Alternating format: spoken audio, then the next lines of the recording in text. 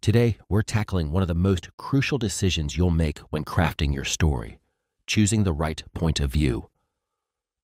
POV is the lens through which your readers will experience your characters, your world, and your plot. It's the secret ingredient that can make or break their emotional connection to your story. But with so many different POV options out there, from first person to third person, omniscient, and everything in between, how do you know which one will serve your narrative best? Fear not, my fellow writers. In this video, I'm going to walk you through the key factors to consider when selecting the perfect POV for your project. We'll explore how your story's genre, tone, and themes can influence your point of view choices, and I'll give you some practical tips for weighing the pros and cons of each POV type. By the end of this deep dive, you'll have a clear roadmap for experimenting with different perspectives and ultimately landing on the one that will take your storytelling to new heights. So grab your favorite notebook and let's jump in. First things first. Before you even start considering different POV options, you need to get crystal clear on the fundamental elements of your story. What genre are you working in? Is it a gritty crime thriller, a sweeping historical romance, a quirky sci fi adventure? Each genre comes with its own set of conventions and expectations, and your POV choice can either align with or subvert those norms in interesting ways.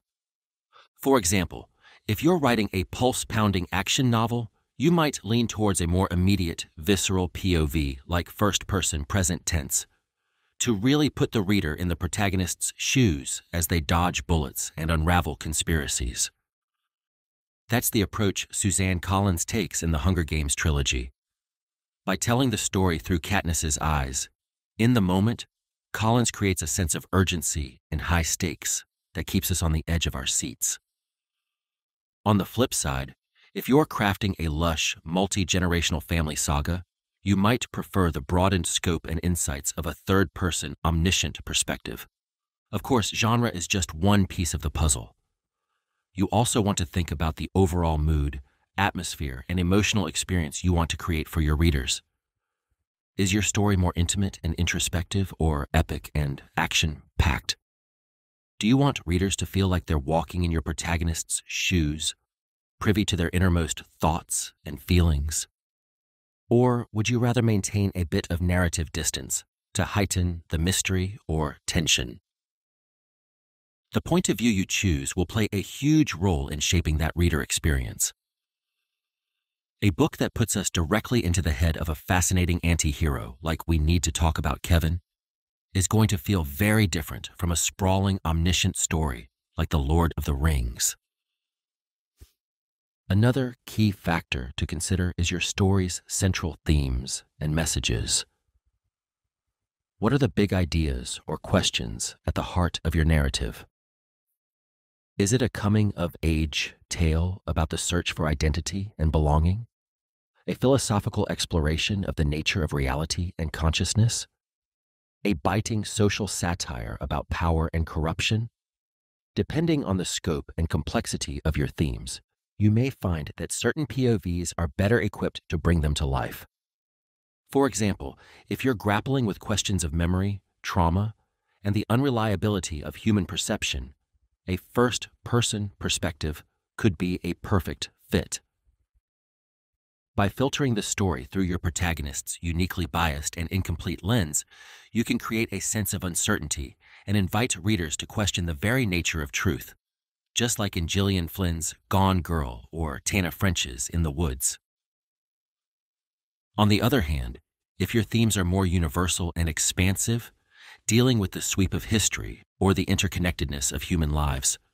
A roving, omniscient POV might give you the flexibility to explore those ideas from multiple angles and eras, like in Cloud Atlas by David Mitchell.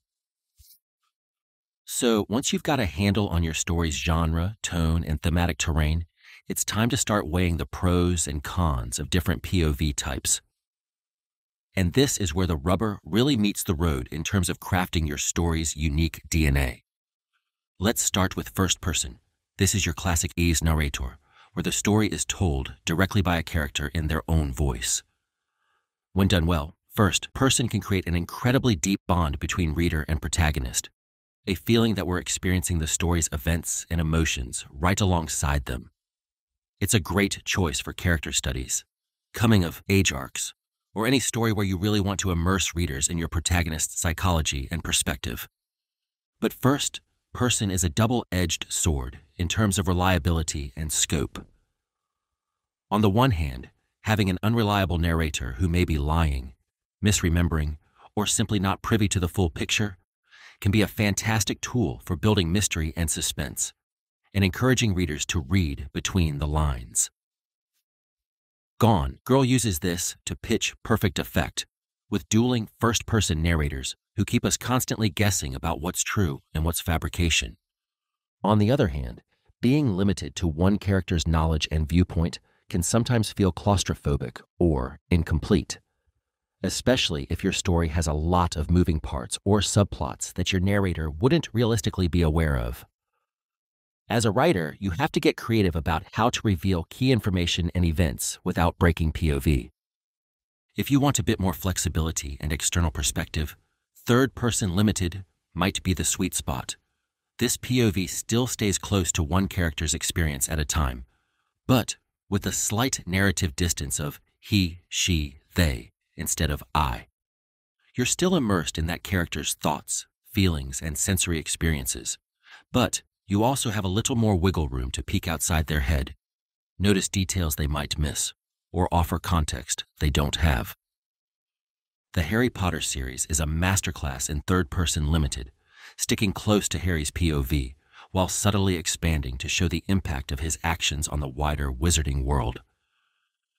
We feel deeply bonded to Harry, but we also get to see him from the outside and understand things about his story that he himself might not grasp. And if you really want that God's eye view, third person omniscient is the way to go.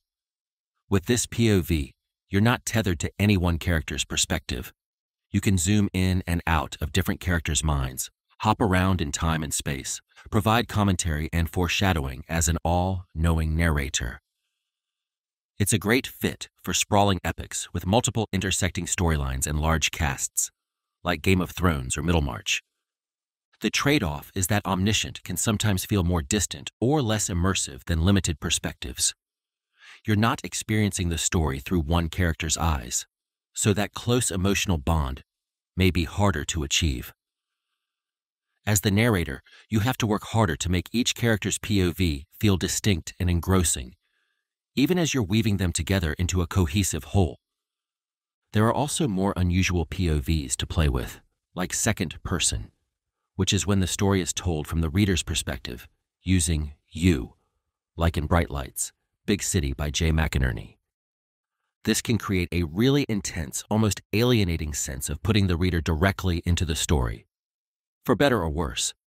It's not for everyone, but in small doses, it can be incredibly impactful. Or you can get even more experimental, switching between POVs throughout the story, using different perspectives for different timelines or subplots, even blending first and third person within the same novel. There's no one right way to approach POV, and some of the most groundbreaking books out there have gotten creative with bending the rules. My advice? Don't feel like you have to commit to a POV right out of the gate. Give yourself permission to play, to test out different perspectives and see how they feel. One exercise I love is to take a crucial scene from my story and write it from multiple POVs. First person, third person limited, omniscient, even second if I'm feeling frisky. Nine times out of ten, I'll quickly get a visceral sense of which one fits the story best which one sets off that little spark of magic in my gut. And if I'm still not sure, I'll share those scene snippets with a few trusted critique partners and get their take on which POV drew them in and kept them hooked. That outside feedback can be so clarifying, whether it's from beta readers, fellow writers, or even an editor if you're far enough along in the process.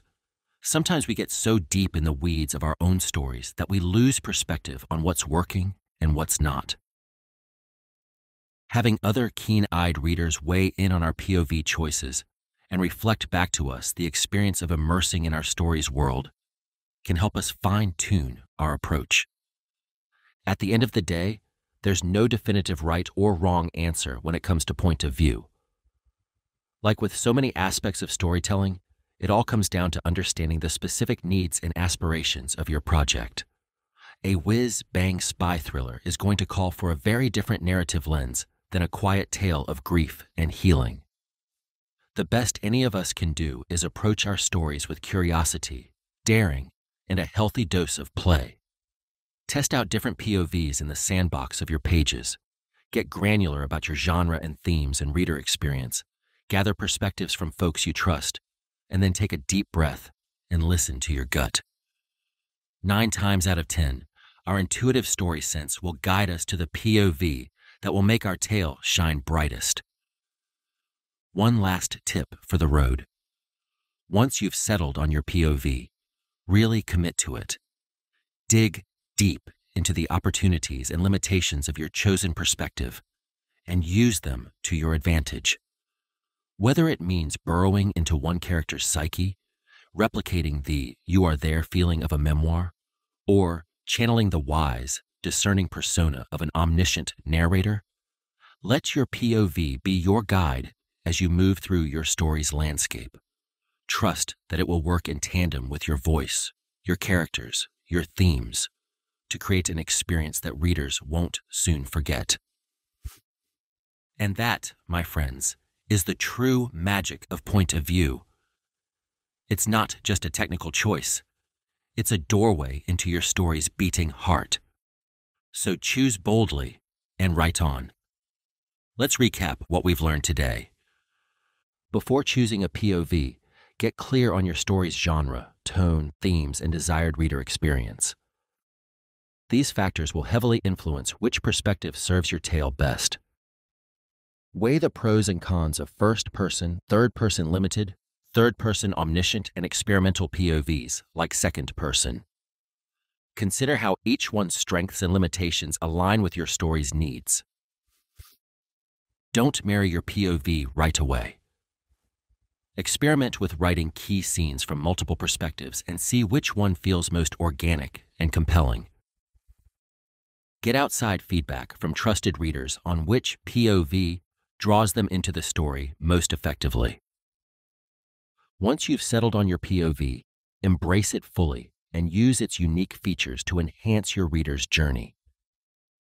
And if you want to take your writing skills to the next level while supporting this channel, I've got an immersive online course that covers everything from character development to plotting to world building and beyond.